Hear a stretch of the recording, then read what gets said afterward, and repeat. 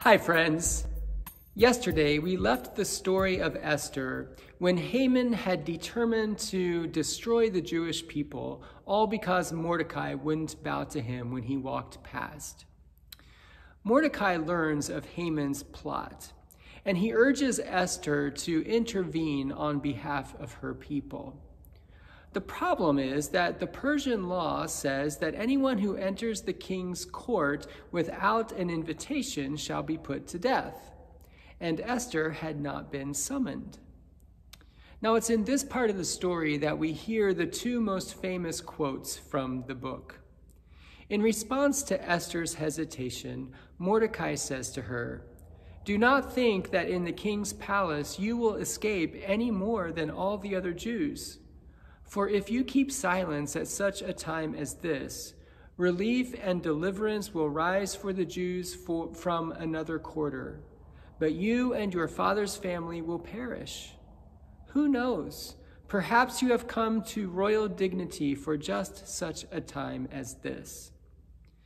And Esther agrees to take the risk, and she says, If I perish, I perish. The Jews in Susa fasted for three days, and this is the closest we come to prayer in this book.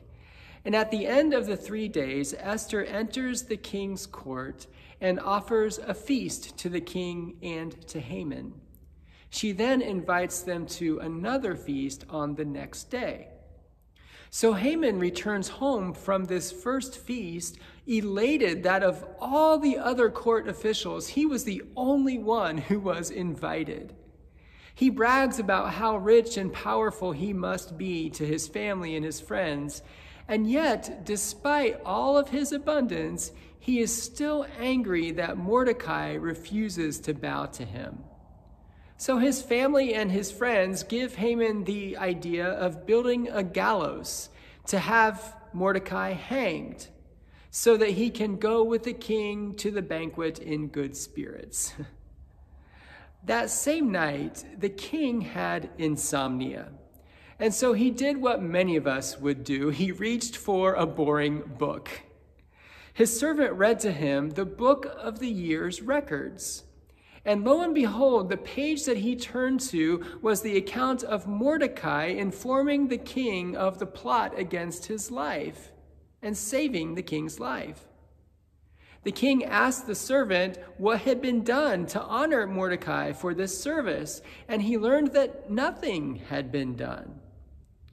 The king wanted to consult his court on the very best way to honor Mordecai and the only person in the court at that hour was Haman, who had come to speak to the king about having Mordecai hanged on the gallows.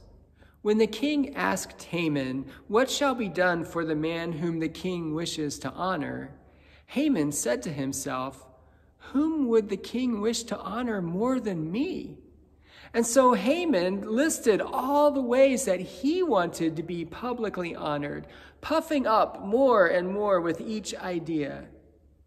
He was quickly deflated when the king said to Haman, Quickly, do so to the Jew Mordecai who sits at the king's gate.